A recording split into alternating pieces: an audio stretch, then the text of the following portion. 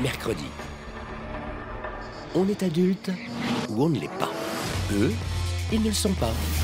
Ah, j'ai le bras qui pèse hyper lourd, j'ai l'impression d'être Philippe Lelouch. Bah alors on est prêt les fillettes là ou quoi? Là, t'as pris du plaisir. Il y a des fauteuils maçons. J'ai l'impression qu'il y en a un qui me tape dans le cul. Hein. C'est chouette, hein. Top Gear France, mercredi à 20h50 sur RMC Découverte.